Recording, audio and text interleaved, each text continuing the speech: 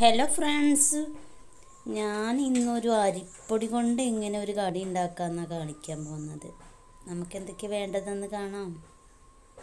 അരിപ്പൊടിയും അര കപ്പ് തേങ്ങയും ഒരു നുള്ളുപ്പും ഇച്ചിരി ഓയിലും ചുടുവെള്ളമാണ് ഇതൊക്കെ ആവശ്യം. ഇതെല്ലാം മിക്സ് ചെയ്തിട്ട് കുഴച്ചെടുക്കാം കേട്ടോ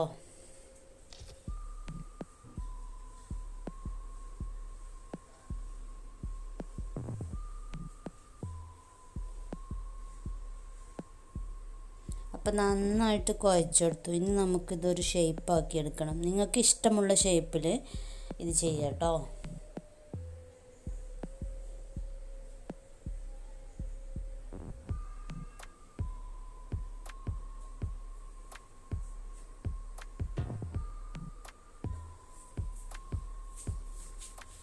നമ്മൾ ചപ്പാത്തി മാവിന്റെ അത്ര കനത്തിൽ ഒരു ഉരുളെടുത്തിട്ട് ഇങ്ങനെ ഷേപ്പാക്കി എടുത്താൽ മതിയേ. അച്ചൊക്കെ ഉണ്ടെങ്കിൽ അതേ ഷേപ്പിൽ നിങ്ങൾക്ക് ആക്കിയെടുക്കാം. എന്റെ അടുത്ത് അച്ചൊന്നും ഇല്ലായിരുന്നു അതുകൊണ്ട് ഞാൻ ഇങ്ങനെ ഒരു ഷേപ്പാക്കിയത്. അപ്പോൾ എല്ലാം ഞാൻ അങ്ങനെ ചെയ്തെടുത്തു. ഇനി നമുക്കിതൊന്ന് ഫ്രൈ ചെയ്തെടുക്കാം. അതിനു വേണ്ടി ഒരു ചട്ടി അടുപ്പത്ത് വെക്കണം. എന്നിട്ട് അതിലേക്ക് സൺഫ്ലവർ ഓയിൽ ഒഴിക്കണം. വെളിച്ചെണ്ണ യൂസ് ചെയ്യരുത് കേട്ടോ ഇതിന് സൺഫ്ലവർ ഓയിലോ വെജിറ്റബിൾ ഓയിലോ ഒക്കെയാണ് നല്ലത്.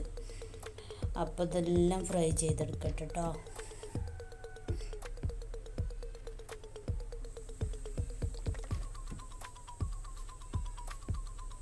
ഒരു ഗോൾഡൻ നിറാവുമ്പോൾ നമുക്കത് കോരിയെടുക്കാം കേട്ടോ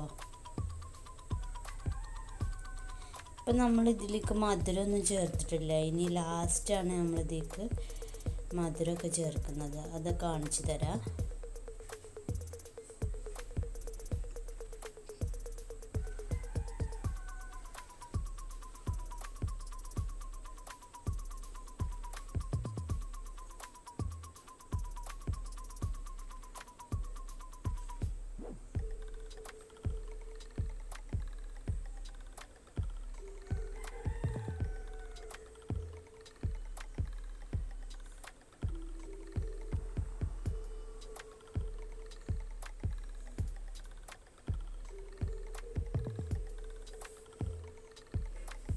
അപ്പോൾ ഞാൻ ഇത് എല്ലാം ഒരുവിധം ഗോൾഡൻ നിറമാക്കി പൊരിച്ചെടുത്തു.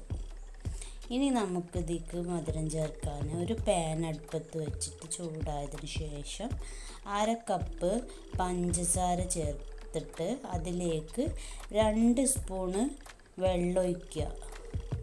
അതൊന്ന് മെൽറ്റായതിന് ശേഷം അര കപ്പ് പാലൊഴിക്കുക എന്നിട്ട് അത് മിക്സ് ചെയ്തിട്ട് നമ്മൾ ഉണ്ടാക്കി വെച്ച കടി ഓരോന്നും അതിലിട്ട് എടുക്കുക അപ്പം നമ്മുടെ ഈ സ്നാക്സിന് മധുരമൊക്കെ പാകമായിട്ട് വരും. സ്കൂൾ വിട്ട് വരുന്ന കുട്ടികൾക്ക് കൊടുക്കാൻ പറ്റിയ വിഭവമാണ് അപ്പോൾ വീഡിയോ ഇഷ്ടപ്പെട്ടാൽ എന്റെ ചാനൽ ഒന്ന് സബ്സ്ക്രൈബ് ചെയ്യണേ. കൂടെ ബെല്ലൈക്കൺ ഒന്ന് ക്ലിക്ക് ചെയ്യണേ. മറ്റൊരു വീഡിയോയിൽ കാണുന്നത് വരെ കുംബായ്